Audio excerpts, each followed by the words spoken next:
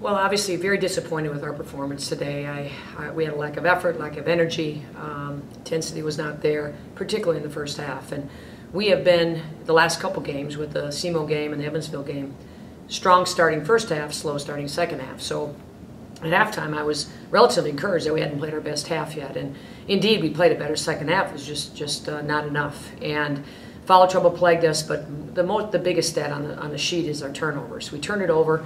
We allowed them to have 17 steals. Couple that with poor shooting.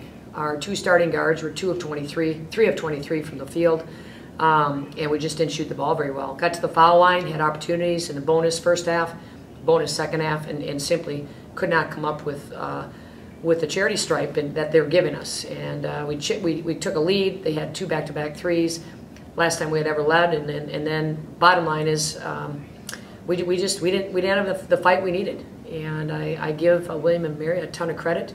They're searching for answers themselves. They have a new coach. They have some nice players, and and they wanted this win more than we did, and that's what's disappointing.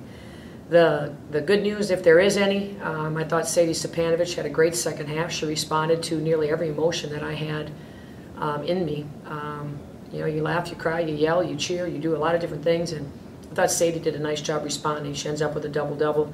Olivia Jakubisek, you can't ask more for her, from her, or Erin Nelson. So our freshmen really stepped up to the plate and, and took the challenge.